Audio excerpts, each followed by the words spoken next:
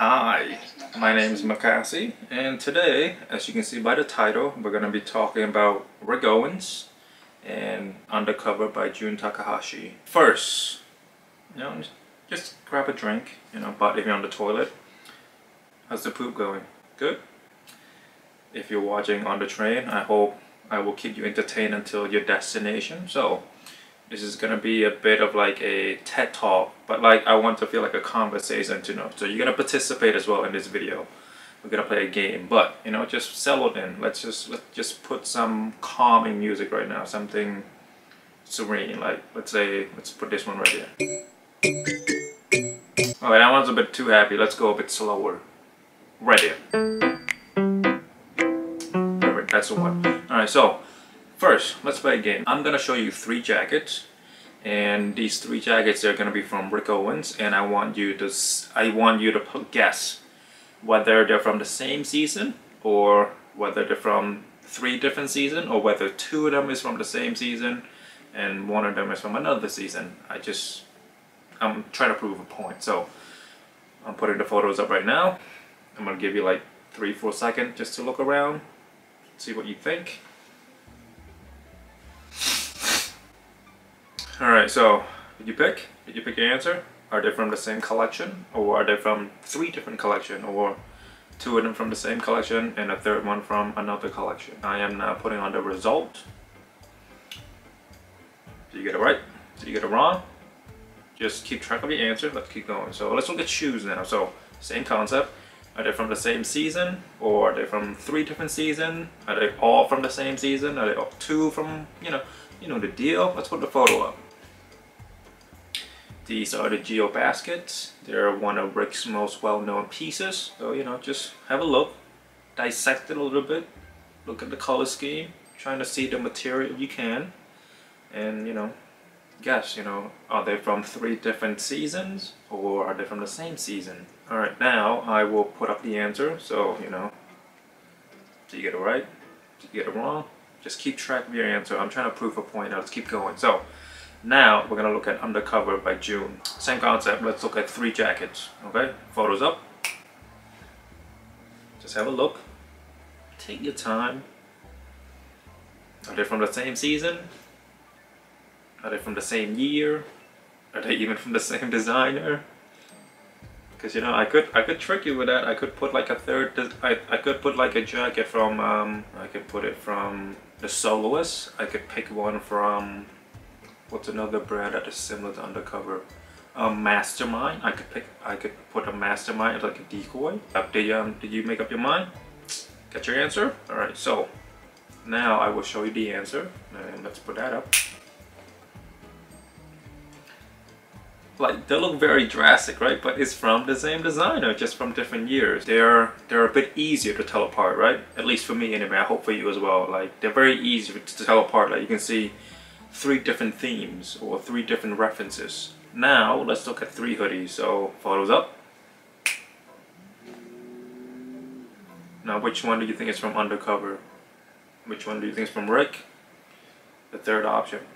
Do you think that one's from Rick? Excuse me, or do you think that one's from Undercover? Pretty easy to tell, right? Obviously the two left ones, you know, they're from Rick Owens. And the third one, they're from Undercover. Rick Owens, he played around with shapes a bit more than Jun Takahashi and you can clearly tell. So let's say you remove all the graphic, like you can still tell that the first hoodie is from Rick Owen because of the long beige drawstring. That's one of his signatures. And with the second hoodie, if you are into menswear enough, you can tell that like this is like one of Rick Owen's pieces because he's known for his asymmetrical zipper nature of it. I mean, he's not okay. He's not the one that made it popular, but like at the moment, like he's been doing this for so long, like you can tell that it's one of his designs. Okay, so if you are anything like me, I hope you're not, but if you're anything like me, when you you look at a lot of runway shows, you know, if you look at enough runway shows, you can see the design languages, like design language of that designer, of that brand. Some, some are a bit harder to pinpoint, but some are a lot easier. By the way, I have this thing, like, I think this, this, is, this might be just me, but I prefer to look at photos of runways first, over like the actual live stream of the video because I can safely say that most designer like their music taste is so different from mine. Most music that they use is so shit. So I so for me, I look at the runways, I look at the photos first, like look at the detail, and then I look at the video, see how the pieces move, and I put it on mute because I just don't like their music. Okay, you know what? To to to prove my point further, I'm gonna insert some clip from like, let's say a Raf Simons show. Like, let's put that up.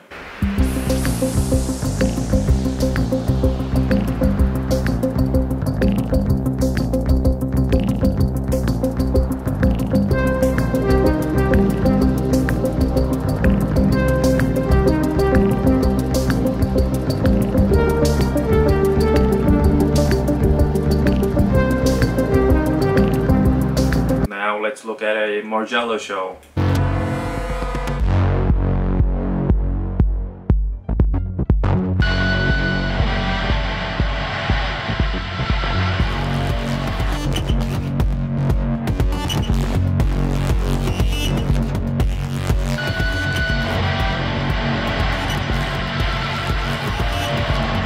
But do you see what I mean though? Like the music is so is so far from me. I, I am into like Hozier, I'm into um, like old classic songs like from Dean Martin's, um, Frank Sinatra, um, a little bit into Lewis Capaldi. Like the music taste between me and these designers, they're just on total opposite end of the spectrum. But anyway, I digress. Today we're gonna look at two brands, which I already stated, Rick Owens and Undercover. We're gonna look at some of their runway, we're gonna look at some of their pieces, and we're gonna analyze. So what I want is like what I'm positing in this video is that I I generally love all Rick Owens shows. But with me, like with Jun Takahashi Undercover, like it's a hit or miss for me.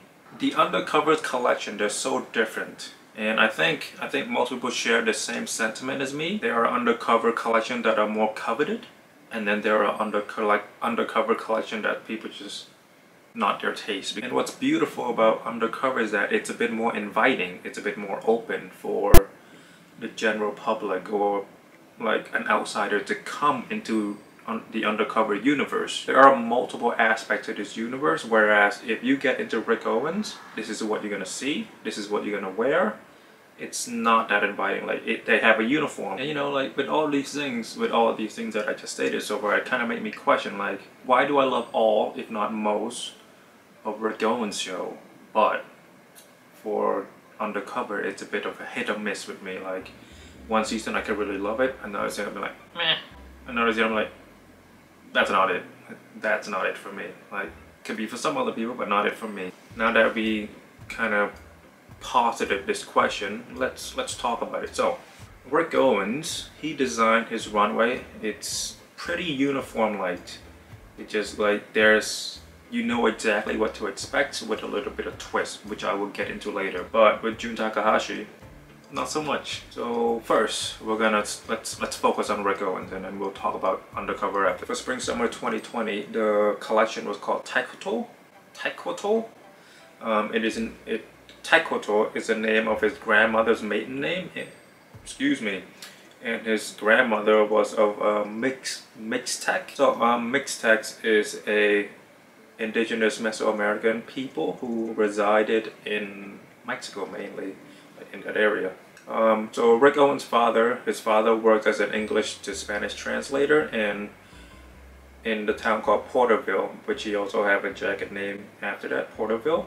But anyway, um, his father worked as a translator and he worked mostly with um, farmers and defending farmers' rights that is why you see um, these UFW, United Farmers Worker Associations, on this collection. I will probably put up the look right now, or has been already. You can see, um, so on the women's collection, you can see the Aztec crown in look 1, 4, and 5, and like in way more looks. Just go look at the collection. And um, the crown was made by an artist named Wintercroft.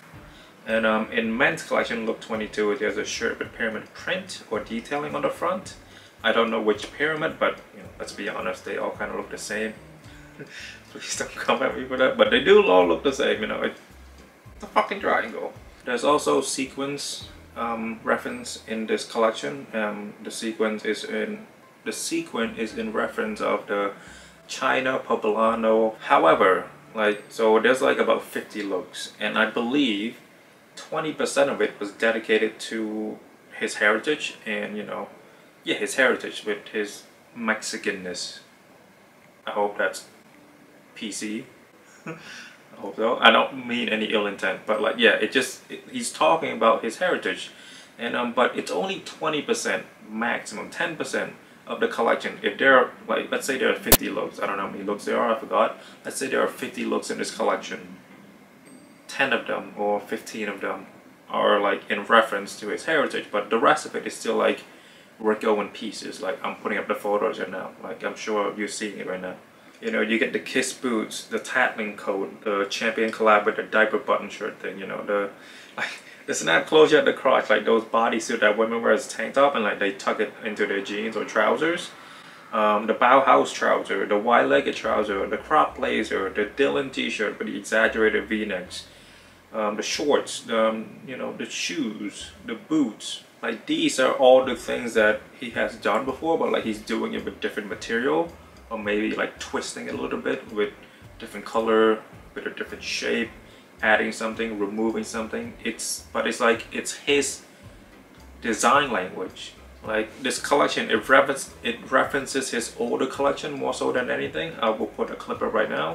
Every new collection is just kind of a reflection of the one before it. So I'm kind of, you know, we've all looked at past designers, but I probably, I study my own stuff more more than other people's, which is a terrible admission of some kind of ego, but it's, um, but anyway, yeah, that's how I kind of feel like I can make progress by setting the mistakes and successes of my past. Yeah, so his collection is always like in reference of his older collection, as he stated in that clip.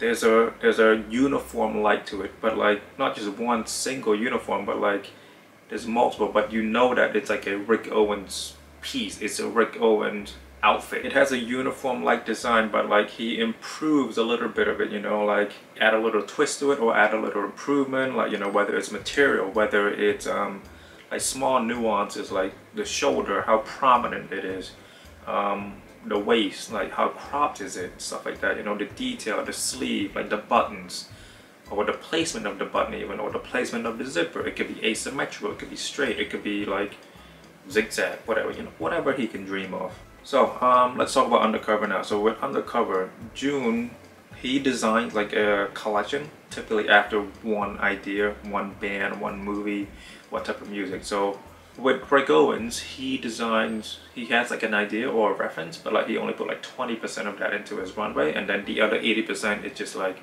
his usual stuff with slight improvement or you know like some nuance changes. But with Jun, with Undercover, like I will later some example like in a second but like he did like 90 to 100% of it it will be designed around that one singular idea. It's going to be whatever references he has is going to be the whole collection or if not all of it it's going to be about that idea. So first let's go through it. So for fall winter 2020 he designed it. The collection was um the big inspiration for this collection was throne of blood. Uh, so the throne of blood is a japanese classic from 1957 and this movie is an interpretation of Shakespeare Macbeth, but instead of medieval Scotland, it's feudal Japan. And so um, for fall winter 2019, it was this whole collection was in reference of A Clockwork Orange, which is also a Stanley Kubrick film. Very iconic. Stanley Kubrick is one of Jun's like favorite filmmakers of all time, and A Clockwork Orange is like one of his favorite movies, or maybe you know he just watched it the day before he designed this. Who knows? You know. I don't have any collection. I'm just a kid in its bedroom making these videos. but um, let's look at some looks right now, so you can so you can see like the references. Like it's very clear. So I'll shut up for a bit and I'll run the clip right now.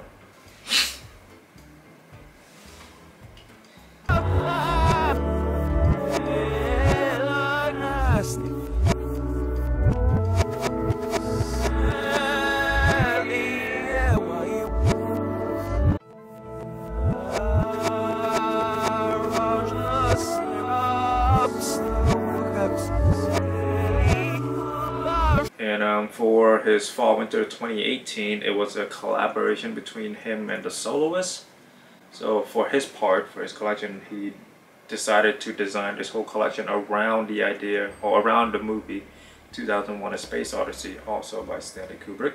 Yeah, let's look at some looks right now. Maybe I'll put the video up, maybe I'll put the photo.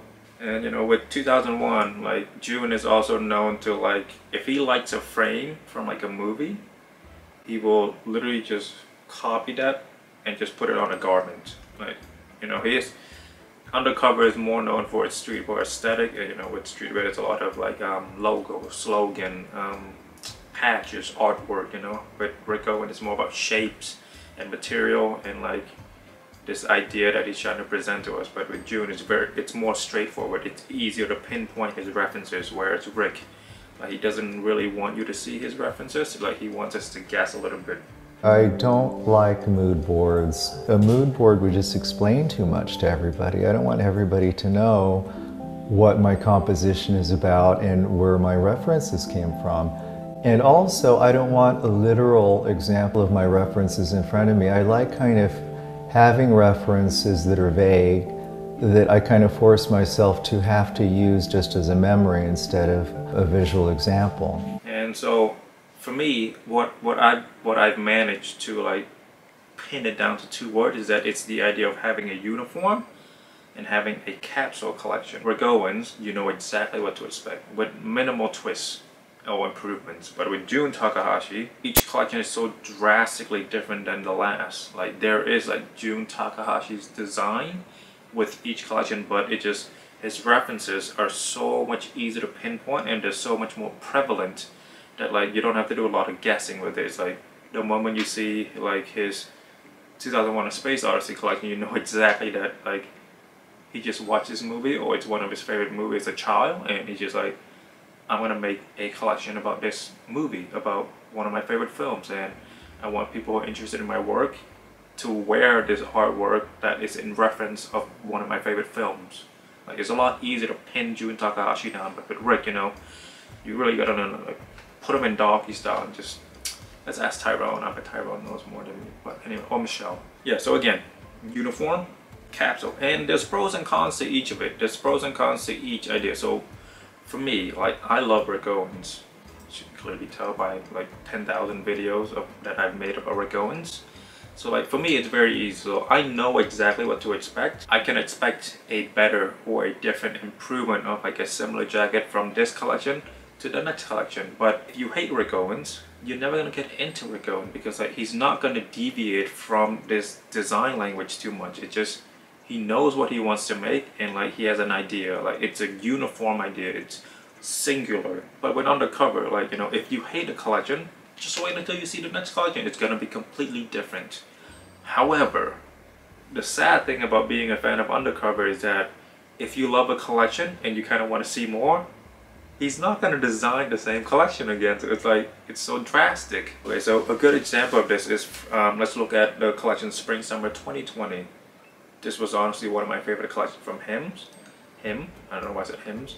um, and one of my favorite collections overall is like as much as as much fashion as i know and i don't know a lot but i'm only interested in a few designers i don't check out every runway just to see what everybody's doing. I only i only check out designers that i like you know like jw anderson chanel a little bit i just want to see what chanel's up to um, Margiela. Want to see what John Galliano is doing. Um, who else do I check out? Marni. I like Marni. Jil Sander a little bit, but not too much. It's, sometimes it's a bit too boring for me. I like the row. Thom Browne hand just because I think it's funny. It's fun, not funny. It's fun.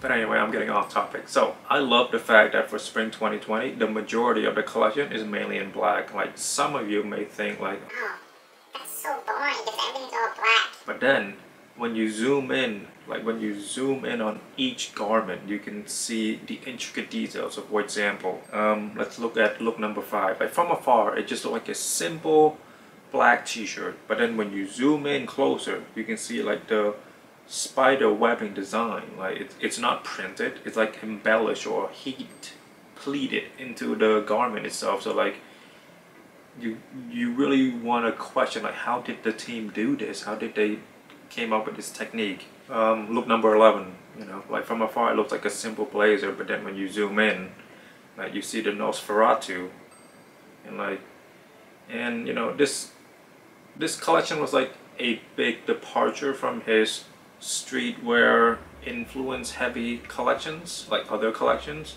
Like people still put Jun Takahashi into a box of like he's a streetwear designer. So like with this collection, like he focused more on the sartorial side. He focused more on the tailoring, on like he focused more on tailoring and material. If you're a fan of his streetwear work, you still get it. You know the Cindy Sherman collab in this um, collection. It's they it's it's tastefully done. Like I find that some of his other like really in your face streetwear stuff is like a bit too much for me. But the Cindy Sherman collab, like I felt like that was just like a good match and it fits really well into this collection and I don't know I really love this collection. I wish I had more stuff from it.